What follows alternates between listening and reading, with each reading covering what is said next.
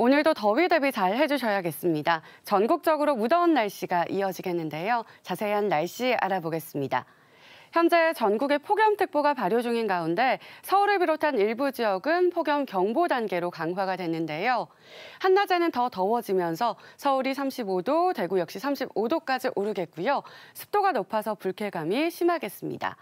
기온이 크게 오르면서 낮부터 밤 사이에는 대기 불안정으로 인한 소나기가 내리겠는데요. 돌풍과 벼락을 동반해 요란하게 내리겠습니다.